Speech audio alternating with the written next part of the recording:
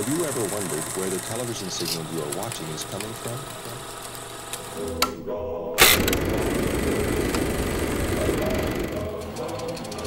Welcome to True North.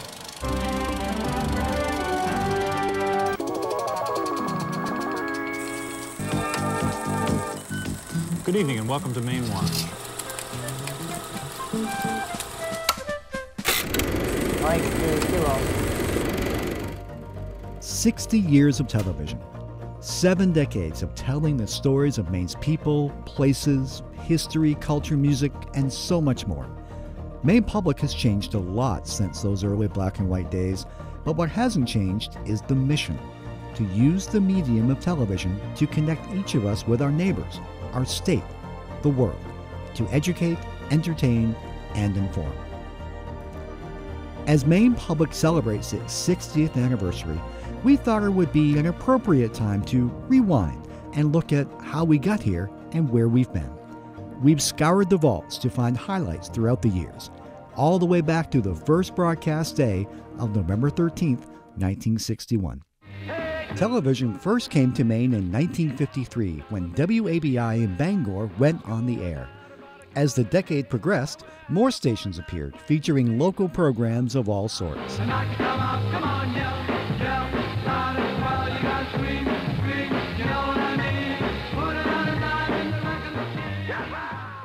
And while these stations did broadcast some shows for education's sake, a national movement worked towards building a network of stations where non commercial education was the focus. This tractor may pull itself out of the mud hole, or it may tip over. If it tips over, the fellow operating the tractor may not be one of the lucky ones. Organizing the family business is one of the things that families like to do in order to keep papers well organized. In 1960, Colby, Bates, and Bowdoin colleges began the work to establish Maine's first educational TV station. And on November 13, 1961, the nation's 60th ETV station hit the airwaves, reaching viewers from Waterville to Portland. At the same time, the University of Maine system had been working towards building a network that would serve the rest of the state. And with the voters' approval of a bond in June of 1962, the groundwork for what became MPBN began. Maine ETV, as it was called, hit the air October 7, 1963, and within a year reached audiences in northern, eastern, and central Maine, along with parts of New Brunswick, Canada. With the addition of WMEG in Portland in 1975, most of Maine was now served by public television. In the 50s and 60s, most network programming came from the National Educational Television Network, or NET. You might remember seeing the logo in early episodes of Mr. Rogers' Neighborhood. Then, in 1969, the Public Broadcasting Corporation was formed and, in 1970, took over as the network serving the nearly 100 educational television stations. PBS introduced us to a new world of educational, cultural, and scientific programs Sesame Street, The Electric Company, Masterpiece, great performances, Nova, and many more shows that changed the landscape of television. Throw them away and start all over again. And get a move on good. WCBB and MPBN continued to produce original programs that focused on issues of special interest to Mainers. Over the years, there were a few name changes. In the beginning, there was WCBB Channel 10, joined by Maine ETV. In 1971, Maine ETV became the Maine Public Broadcasting Network, or MPBN. With the merger in 1992, the new name of Maine Public Television was born. Then came Maine PBS, then back to MPBN, and finally, in 2016, Maine Public. And it all began 60 years ago. So, to celebrate the diamond anniversary of Maine Public, let's dive into the vault and take a peek at some shows from the past 60 years. You will not only see how television has changed, but how our state has as well. You'll see some old favorites, some of which haven't been seen in decades. And who knows, you might even see yourself. So let's go back to 1961 and see where it all started. Every morning at the mine. JFK was president, Jimmy Dean was on the top of the charts, the Reds beat the Yanks into space, but the Yanks beat the Reds on the field, and WCBB was about to go on the air for the very first time. November 13th, 1961. The broadcast day began at 10 a.m. with music theater, but at 8 p.m., this is what viewers saw. Educational television comes to Maine. Welcome to Channel 10. This is the first regularly scheduled program day for WCBB, Channel 10 in Augusta, Maine's first educational television station. It is the beginning of a different kind of television service for southern Maine, a new service planned to be of benefit to the whole area, and a service which we trust you will enjoy, appreciate, and support. Good evening, and welcome to this first evening of telecasting by Maine's first educational television station. As you know, this station is a direct result of the efforts of the three private colleges, Colby, Bates, and Bowdoin, hence our call letters, WCBB. Consequently, this is a private enterprise station made possible without state or federal aid. Our station itself is owned by the Colby Bates Bowdoin Educational Telecasting Corporation, which in turn is owned equally by the three colleges. Covering some 54% of the people of this state, we also hope very soon that there will be a statewide network, part of which will be under the University of Maine, so that all of the state will be covered. Now perhaps it is time to say a few words about the other programming which Channel 10 plans to bring to you in the weeks and months which lie ahead. In addition to the programs of instruction which WCBB will be sending out to the schools of the area during the daytime school time hours, Channel 10 plans to bring you on a regular schedule during the evening hours such programs as Television International every Monday night at 7 o'clock. Included in Television International programs will be Prospects of Mankind, featuring Mrs. Eleanor Roosevelt as permanent moderator. Five evenings of great music by the Boston Symphony Orchestra will be presented live from Symphony Hall over WCBB during the coming months. Included in our news programming will be President Kennedy's press conferences in their entirety, highlights of events at the United Nations Thursdays on UN Review. These then are some of the highlights of the evening program schedules which WCBB will bring to you. We hope that you will enjoy and look forward to this new and somewhat different television service and that if you do, you will write and tell us so. And so, public television in Maine was off and running. Two years later, on October 7, 1963, Maine ETV signed on. For viewers that tuned in that afternoon, they were treated to this.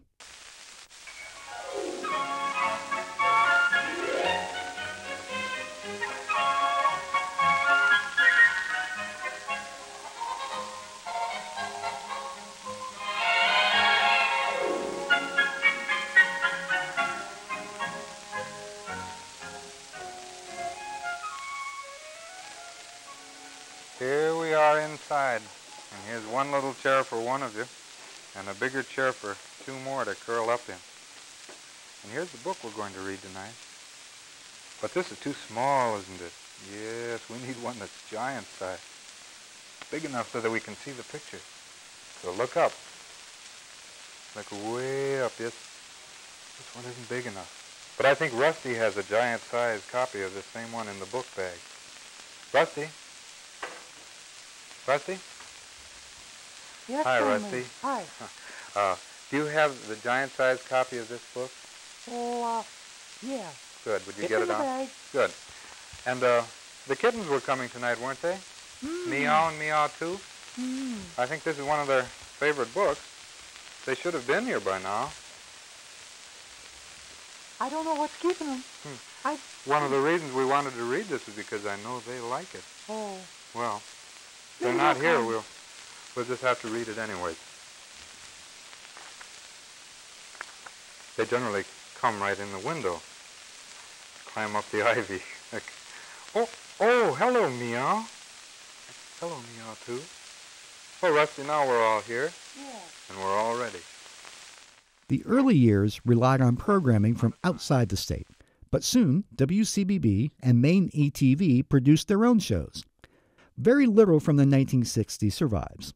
Let's start our rewind with one of the oldest programs in the vault.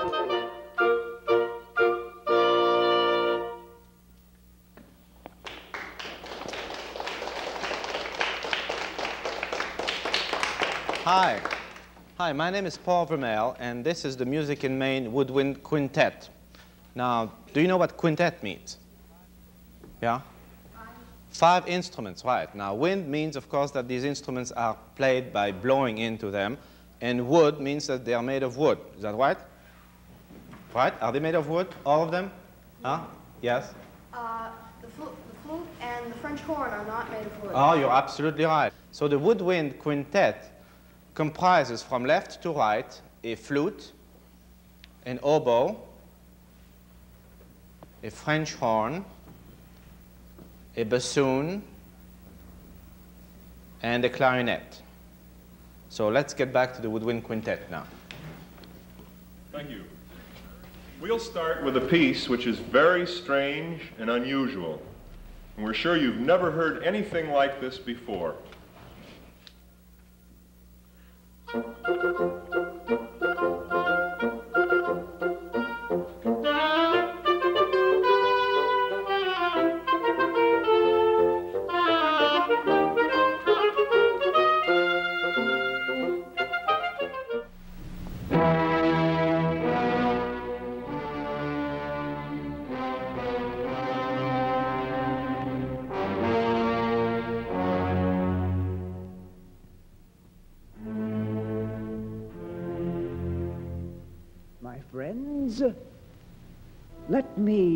tell you a story. It is the story of many stories. In times long gone by, in the lands of India and China, there was a king of the kings of the sons of Sasan who ruled over the empire of Persia and the deserts of the east. Good woman, what business brings you here, and uh, what do you have in that bowl?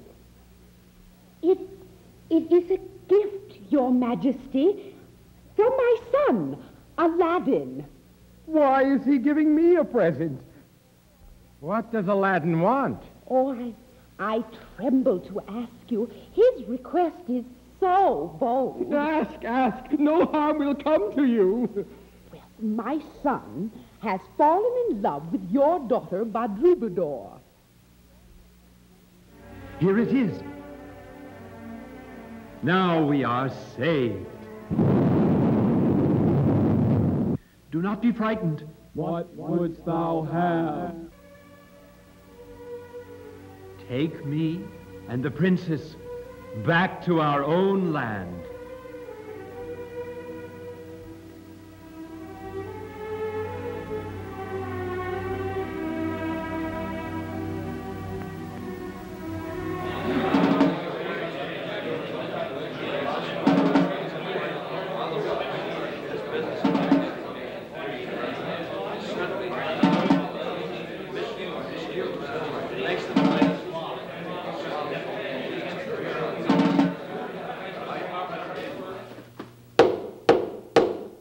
Convention is in session. Meeting will come to order. The various committees have been hard at work, as you are all aware. The agenda now calls for recommendations from the Committee for Constitutional Support of Religion. Mr. President! Mr. President, what is, what is this open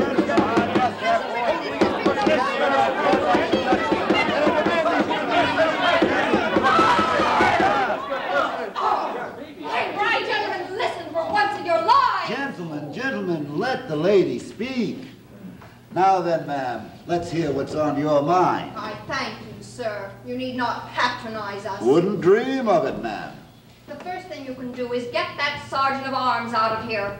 All right, Sergeant. You can go now. They won't hurt you. The next thing you can do is authorize our stay for the remainder of the convention. We came to stay and we mean to do so or disrupt the proceedings. Yes, we will! Yes, we will! You think you can control your caucus, ma'am? Of course. Do we stay or don't we? But why do you want to? These will be boring proceedings. We'll be the judges of that, I think. Well, gentlemen, what do you say? Mr. Are you asking for profanity, sir, in this house of worship? Oh, it'll be worse if we don't, I know, believe me. Mr. Herrick! Mr. President, I put it to you that your desire for haste is suspect. No, sir, it is obvious. We have no time for philosophical fancies. We have to make a constitution. Now, do we not want freedom? Is that not the question? Why do we talk of enslaving ourselves? We are here to free ourselves from the bondage to Massachusetts.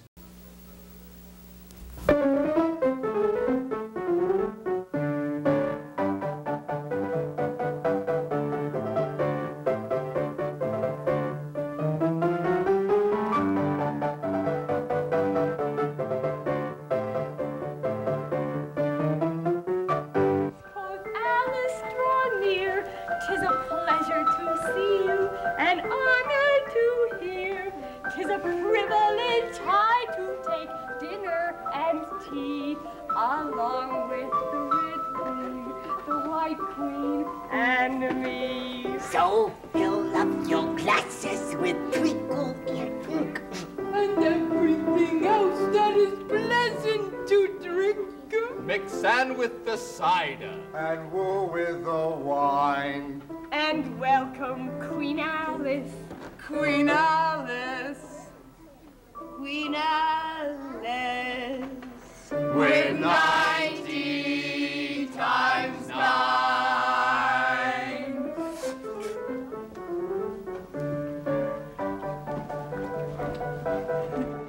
Maine Educational Television's News and Comment. An in-depth look at Maine news today. So I think we can say that without exception, all these new supertankers will have completely separate and physically independent ballast tanks with no piping connection with the cargo oil tanks. I believe we had another question from the audience. In the corner, please. Uh, Mr. Howe, I have two bumper stickers here. One is oilmen are slick operators. I think this is self-explanatory, but I have one here. Clean oil can stop poverty and start progress. Now, I don't know what clean oil is, but I've always been interested in social problems. And if you have something called clean oil that can stop poverty, what in hell have we been spending billions of dollars for many years to try to eliminate poverty in this country? And this really gets me. Start progress. Do you come from Maine, sir? No, sir. Would you tell me what you consider progress for our state? Tonight, John Stevens speaks not as commissioner, but as governor of the Passamaquoddy Reservation at Peter Dana Point. There's a lot of good Indians that died for this land. And if we have to die again, okay. Because what else is there left? Not a thing. We can't see uh, fighting, fighting over little welfare money. Indians are being educated. Indians are standing on their own feet. They're going to be heard from, and they're going to have to be dealt with. And the state of Maine has not listened one, one bit to all. They, I warned them 20 years ago this was going to happen. They haven't listened. I think uh, if the state of Maine thinks we're going to lay down and die, you know, play dead, they got another thing coming. They got an awful surprise coming. The program you're about to watch is a television simulation. The names, places, North of the Namaskeg was a viewer-active television project which was broadcast in November and December of 1971. Its purpose was to present real issues in a simulated circumstance which would allow examination of issues without the heated emotions and prejudices which surround such in real life. We selected as the topic the proposed plant location of Atlantic Canning Company in the small rural town of Freeborough, Maine. We invented the town of Freeborough, Maine on the equally fictitious Namaskeg River as our site. This dramatization of a simulated crisis in Freeborough leaves the decision-making up to you as a thoughtful viewer. Next week's program will proceed according to your vote. Now we ask you to become a member of the Freeborough Chamber of Commerce. A simulated Chamber of Commerce meeting is about to take place, and your vote will help to, to decide what position the Chamber will take in the Freeborough Town Meeting next Thursday. The planning that has gone into this doesn't amount to beans. So I'm not saying I'm 100% opposed to it, but I do think that there's a lot more that should be done before the decision is made. As I said, uh, we're aware of what the public wants, and they'll get what we want as far as we're concerned. They'll get what you want. No, they'll get what they want. This is the public as a whole, not one side. We have to weigh both sides, you know. I hope I helped. Thank you very much. Right windy bays and come home to the sea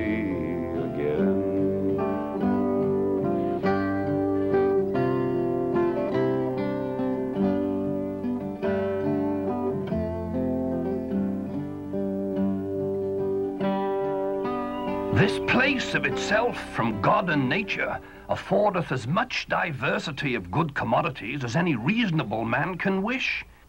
Here are more good harbours for ships of all burthens than England can afford, and far more secure from all winds and weathers than any in England, Scotland, France, or Spain.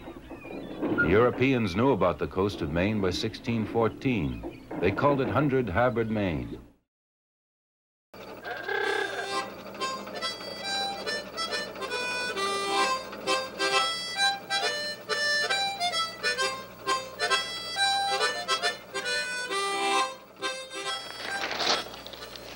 Say, mister, can you tell me how to get to Alfred?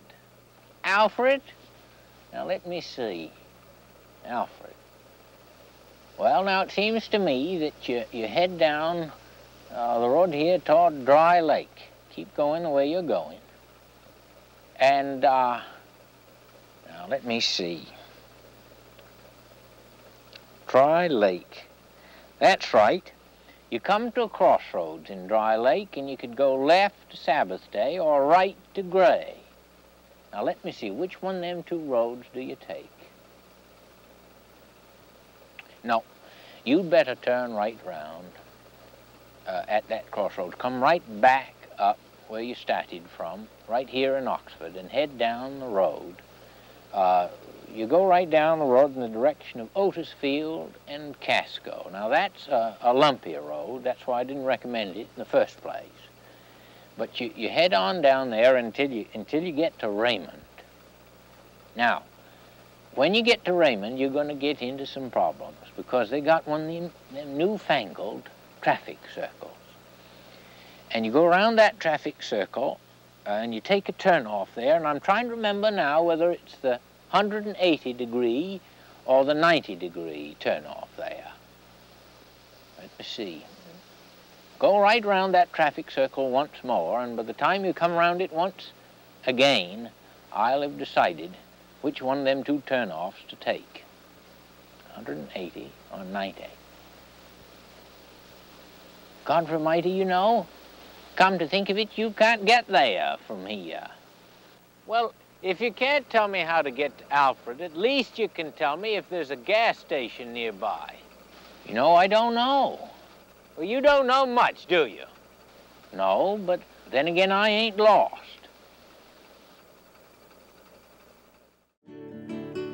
And the Plymouth boys are able, first-class sailor every man. But I'll haul down the sail where the bays run together. Bide away the days by the hills of Idaho.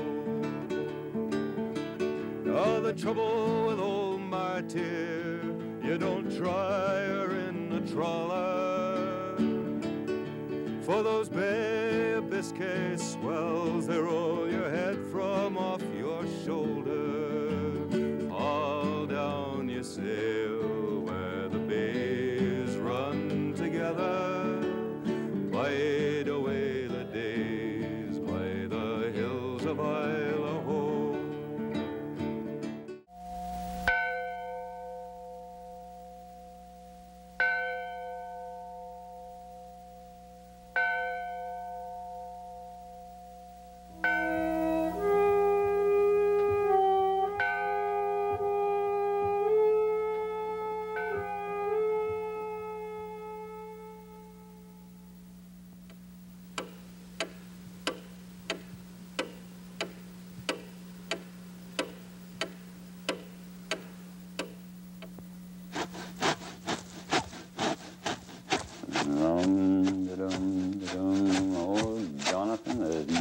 like the smell of fur.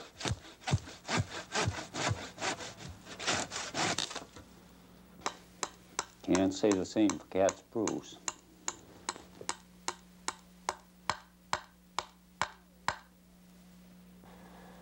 You didn't leave me many cranberries here.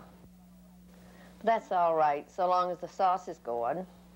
I'll just put one cranberry to four popcorn.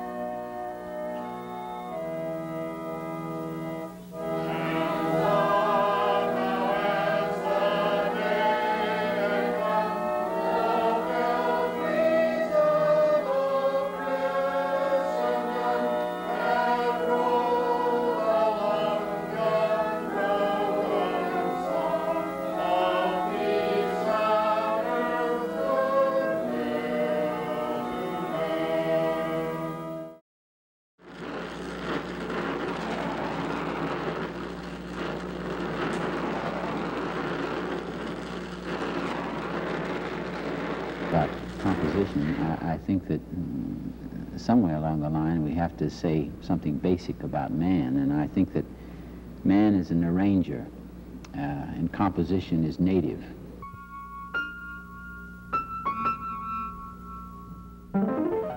It's intuitive after a while. When you're, when, with what I was doing today, I was just dancing and intuitively I had some form of composition that, that just seemed to come out. I don't think the ideas, the ideas have to be different for each house. So that, uh, of course, I, I, I hope I have absorbed some new ideas and gotten out some new ideas, but uh, basically you work on the same principle. And so it means uh, for music putting together of musical tones. And you put them together into patterns that sound the way you would like them to sound. For the last 40 years, Scott and Helen Nearing have been living in the country, first in Vermont, now in Maine, farming and gardening, cutting wood and living off the produce of the land. Their book, Living the Good Life, describes their self-sufficient lifestyle. Uh, last year, 2,300 people came to visit us in our, at our main farm. Most of these people were young people. Most of them were from moderately well-to-do or well-to-do families. Most of these young people have discovered from their experience that, uh, that happiness does not come with a multiplicity and a variety of possessions. Uh, they've already learned, this, this minority that, that we saw, they, they've already learned this lesson. And they're now setting up uh, homesteads of their own, setting up communes with a complete reorientation with regard to happiness through multiplicity. The more you have, the happier you'll be. They know it isn't true because they've seen it tried out in their own homes.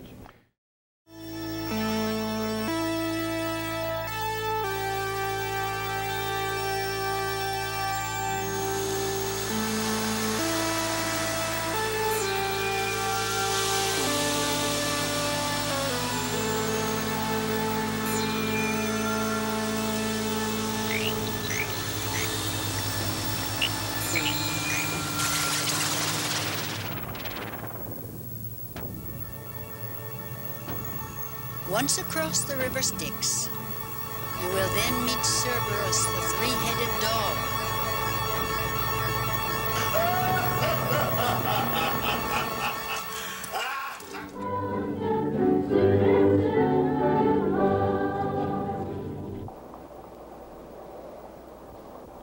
Bonjour, Edmeo ici.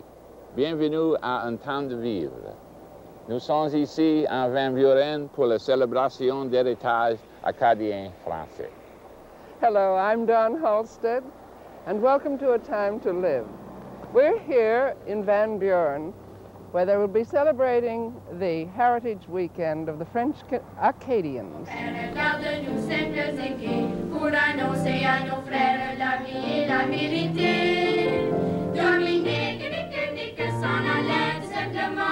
routier, pompier, chanteur.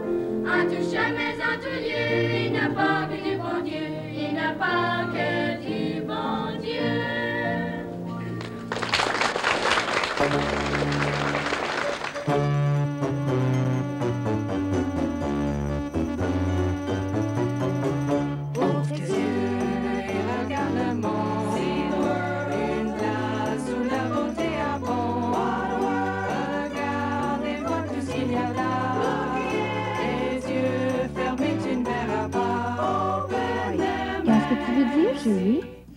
Peut-être que je ne peux pas le faire. Maybe I should be playing with dolls or something. Julie, parle pas comme ça. You know you can do it if you keep trying. Je te connais. Tu vas réussir. But I'm a girl. I shouldn't be working on inventions. Who says that? You are a person, Julie. And if you are a good inventor, then that's what you should do. Work on inventions, right? I guess so. Il y en a qui aimeront pas ça. I know. They think I'm weird. I guess girls shouldn't be too smart. Eh bien, laisse-les penser ce qu'ils veulent. You and your friends have taught Doric and me to be proud to be lutins. Now I tell you, Julie, be proud to be a woman. I'll try, but they don't make it easy, do they? No, they don't. Boy, I wonder if I'll ever get this thing to work right. If I know you, Julie, you will. I've got to leave now. I promised my mom I'd go to a Beano game with her. You want to come? No, thank you, Lise. I'm going to get this thing to work right if it takes me all year. Bonne chance. Same to you, Lise. Hope you and your mother win something. Bye. Bye-bye.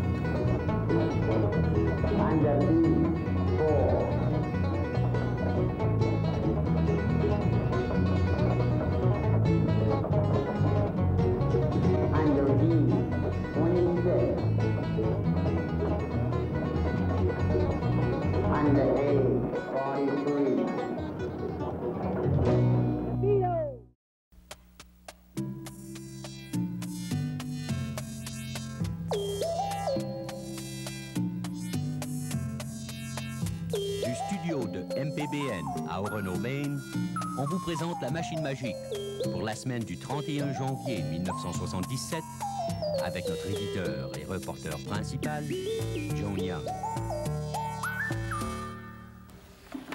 Bonjour et bienvenue à la machine magique. Hi and welcome to the news machine. Hand and I were just looking through the stacks of mail we've received lately. Do you know that over a hundred Valentine stories were sent in to our Valentine story contest? Snowmobiling is always very popular in our state in the winter, and once a year in Bangor, people come from all over to race snow machines. Here's our report. At the 10th annual Paul Bunyan Snowmobile Open in Bangor, Maine, we met Mr. Dick Beaulieu, who's going to speak to us a little bit about what this race means, a little bit about the history, and what's going to happen. Next spring, the Kennebec River will flow free of logs for the first time in more than a century and a half.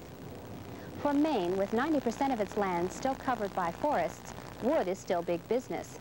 And when the industry was young, rivers provided the only route from virgin forest to the mills.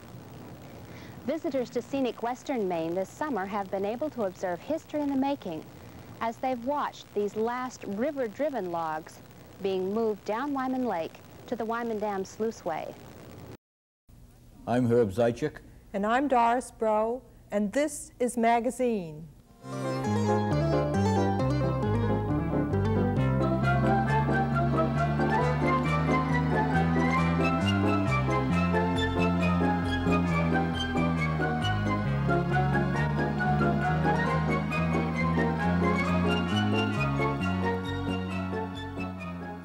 On this issue of magazine, we'll learn something about the flammability of different fabrics, watch some Indian pudding being made, get some hints on planning our personal estates, and some shopping tips. Doris? Yes, and we'll see how to repot houseplants, learn something of electrical wiring at home, and let's start with consumer dating and Nellie Gushy.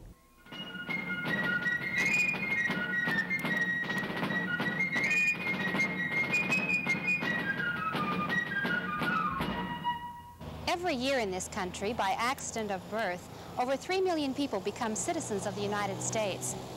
Also each year, across bridges such as this one, Through ports of entry at international airports and seaports come thousands of aliens who ultimately, for reasons of their own, will choose to become citizens of this country.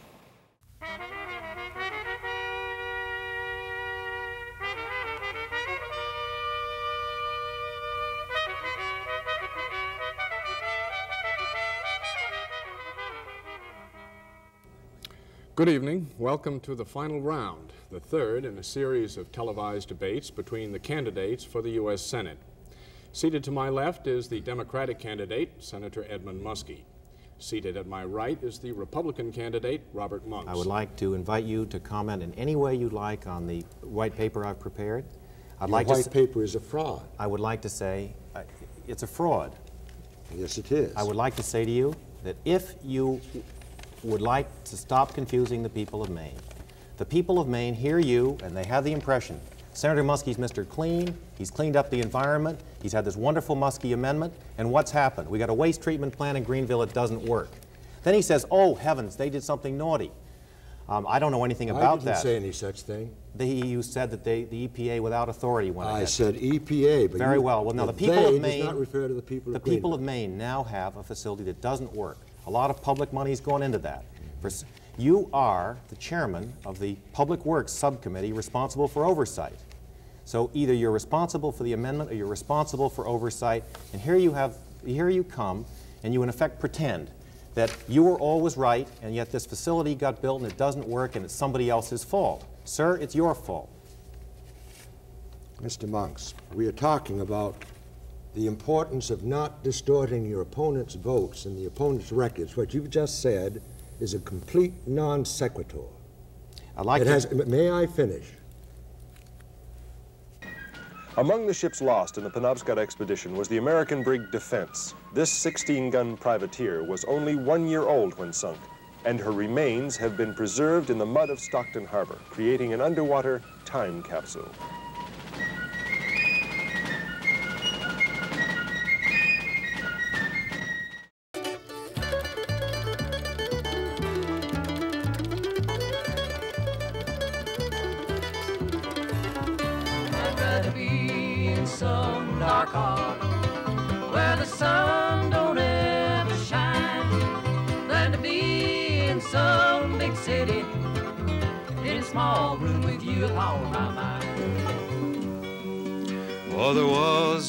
Lofty ship, and they put her out to sea. And the name of the ship was the Golden Vanity. And they sailed her on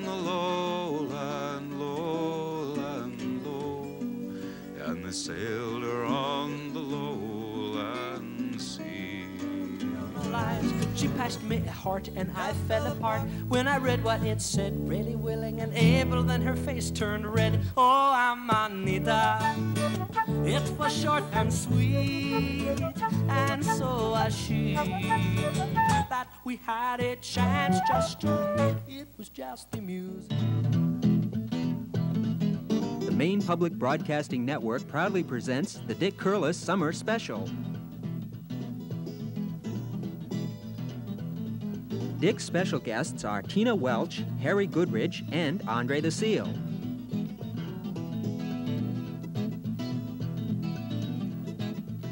Now, here's the Baron of Country Music, Dick Curless. Now Casey Jones, he was a mighty man, but now he's resting in the promised land. Kind of music he could understand was an eight-wheel driver under his command. He made the freight train boogie yee, all the time. He made the freight train boogie as he rolled down the line. Well, I Keep an eye out for Charlie. I've got a feeling that he's out tonight. Keep an eye out for Charlie. Don't let him see you holding me tight. Keep an eye out for Charlie. Andre the Seal. We all love Andre the Seal. He's the toast of the coast, and we all like most when we talk about Andre the Seal. We all love Andre the Seal. We all love Andre the Seal. He's the toast of the coast, we all like to most when we talk about Andre the Seal.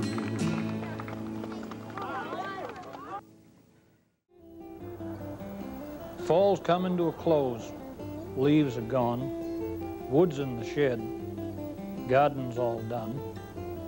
Time to take a rest and see if I can survive another Maine winter. Reminded my, me of my great uncle Kurt back home there. He told us one time that uh, he'd been out hunting up Township 19 where they all go hunting.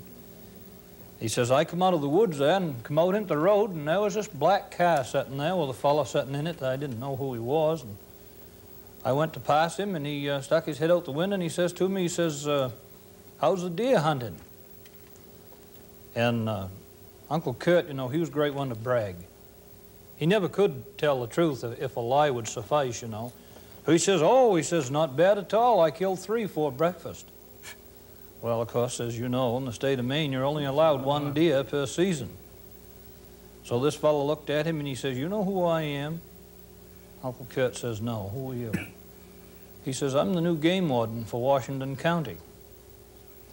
Uncle Kurt says, you know who I am? And The fellow says, no. Kurt says, I'm the biggest damn liar in the whole state of Maine. good, very good. The only time he ever told the truth. very good. And you get out and you say, now I want you to take that bucket of paint and that three-inch brush, and I want you to paint a white stripe right down the middle of the road all the way across town to the next town line. Okay. So he painted all that day, and late that afternoon, the boss think about the guy, and gee, I gotta go see what he done. So we went up and looked, and the, the guy was a good worker. He painted a uh, strip three mile long that day. Boss said, boy, that's a big day's work. So he went home, the next morning when the guy come in, the guy, the boss say, you go pick up where you left off yesterday. Okay. So he went up, and that day he painted again, and when come night, the boss went and looked, and he painted two mile that day.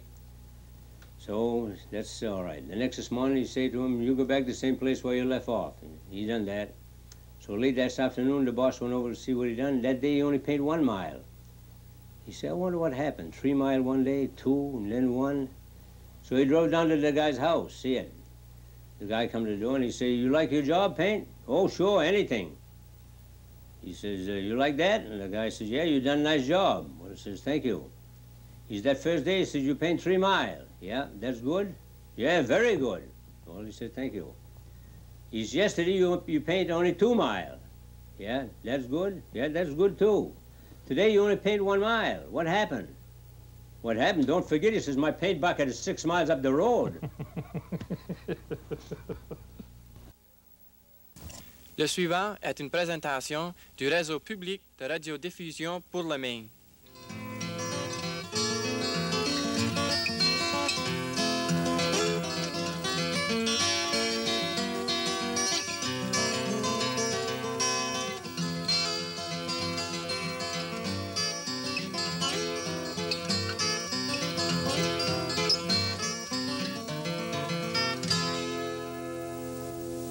Salut et bienvenue à Reflet et Lumière. And today we're going to talk about the, the origins of the St. John Valley. Now, Guy, we know this valley has to be an Acadian valley. That is to say that there are a lot of Acadians here. Right. Who are these Acadians and where do they come from? Well, you know, uh, Acadia means uh, the people coming from the Nova Scotia, New Brunswick area, okay?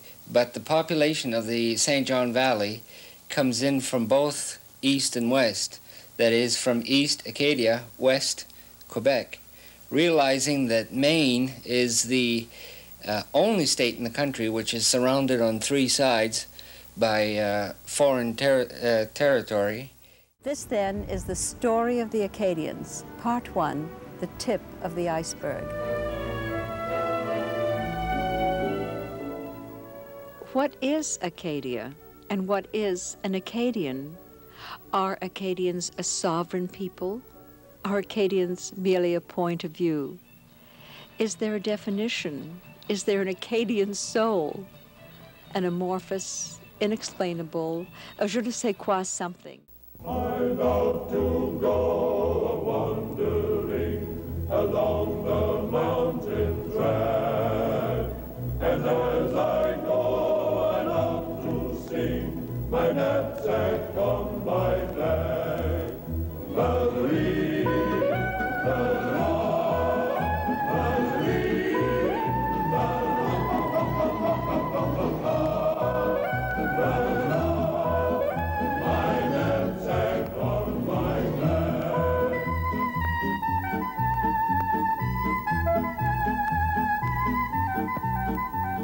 And waters with your host, Bud Leavitt. Where's this little pond? You think I'm going to give you that secret? No, we're on the air. I mean, he's he wants to know where that casting was done. This, this I'm not going to tell you that. Yeah, it's And worth- let- it's worth a try, bud. Oh, you tried right there, right on live too. you can... Bill Lee, good to see you. Thank you, Bud. Nice state you got here.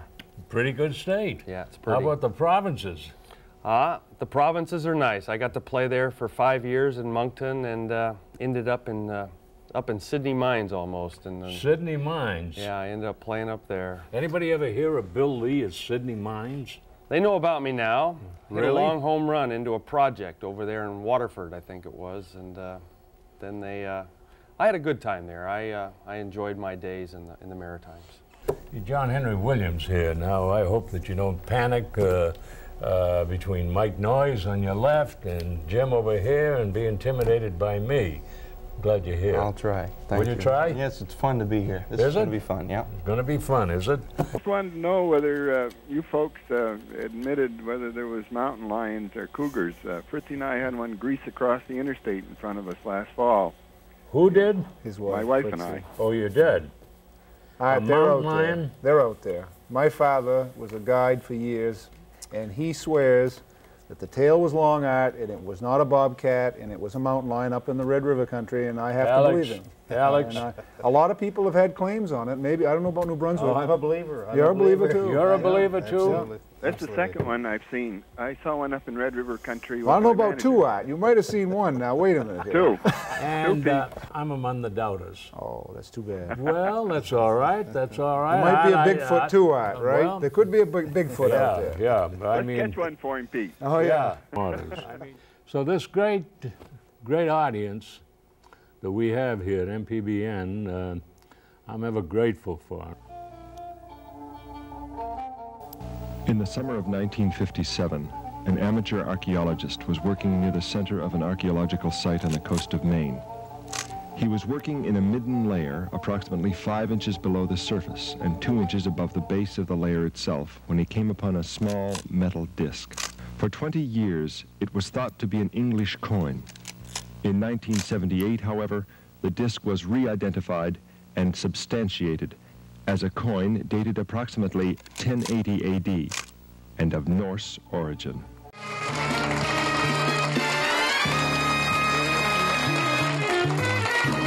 Welcome to the all-new seventh season of the award-winning So You Think You Know Maine.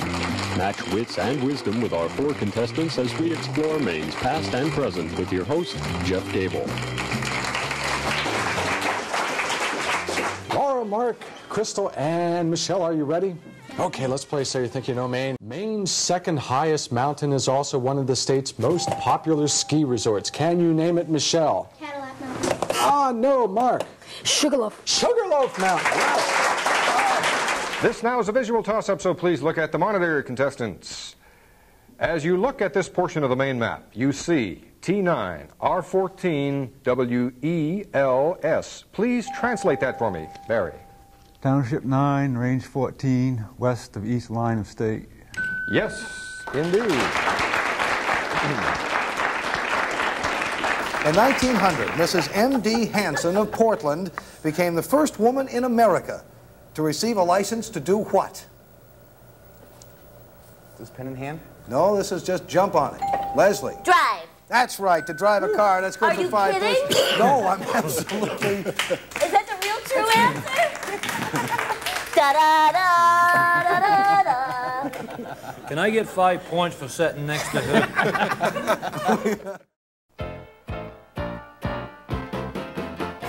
Hey, now where we going? Where will we convene? We're gonna go on down the road to exit 13. We're coming to the city. The skyline can be seen. Look at the light, shake that next right. It's exit 13.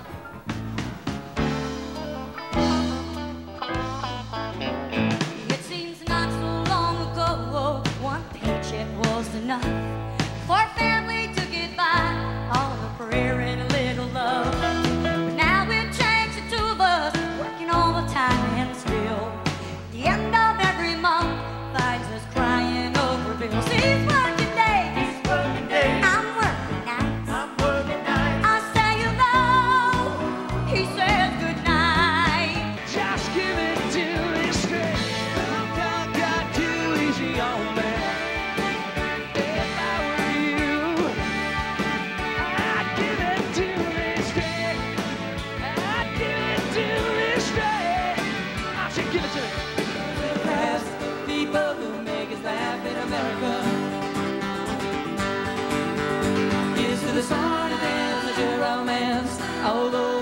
chance in America. And here's to the people too, whose dreams have all come true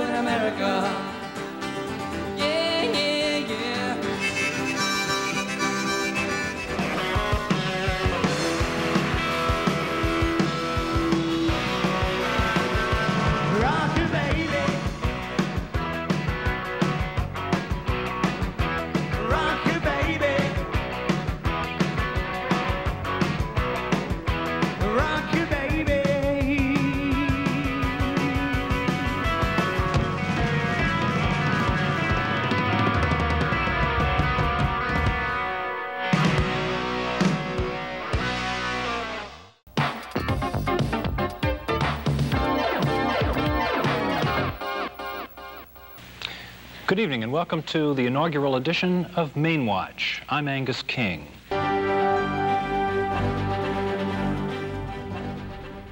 Hello, I'm Jennifer Brooks, and this is Maine Watch. Every spring and fall, Maine experiences one of the world's great natural events, and most people here don't even know about it.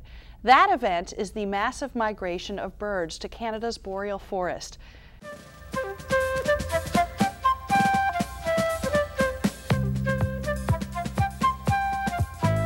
There's just dozens of products here at the Made the Maine Way catalog store. Some of them you've seen on our show, some you will see in the future.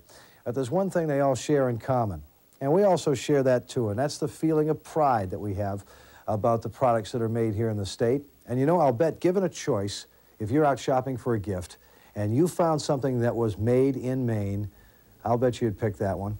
Well, that's one of the reasons that we're here today. And one of the others is to meet Karen Brace, who started the Made the Maine Way catalog and store. How are you today, Just Karen? fine, thank you. Season's greetings to you. Why, thank you.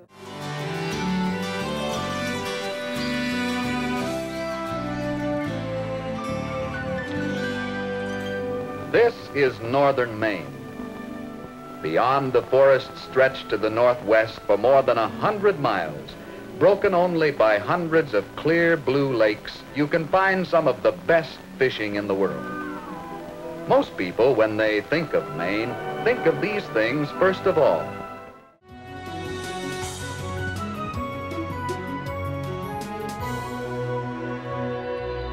Many of us who were raised in northern New England remember a time when moose, black bear, bald eagles, even white-tailed deer are seldom seen. Other trees are used as babysitting trees so that foraging sows know their cubs are high and safe. So, if bear numbers are increasing, why don't we see them in the woods more often?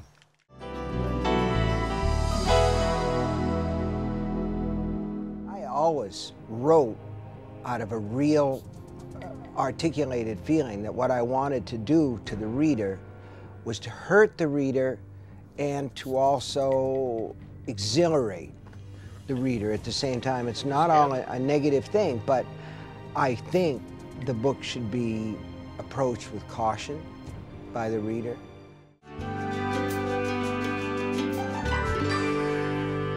The British, from their point of view, judged that the St. John actually emptied into the Bay of Fundy. Their interpretation was that the Penobscot was the most northerly river that emptied into the Atlantic. So, from Britain's point of view, the northern border was just slightly above Mars Hill. The Americans, on the other hand, said that the highlands really were up to the St. Lawrence River.